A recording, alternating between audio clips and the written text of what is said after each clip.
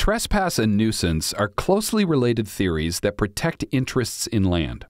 The basic distinction is that trespass protects the interest in the exclusive possession of land, whereas nuisance protects the interest in the use and enjoyment of it. The court considered whether either or both theories applied in the 1985 case Bradley v. American Smelting and Refining Company. American Smelting and Refining Company owned and operated a primary copper smelter near Tacoma, Washington.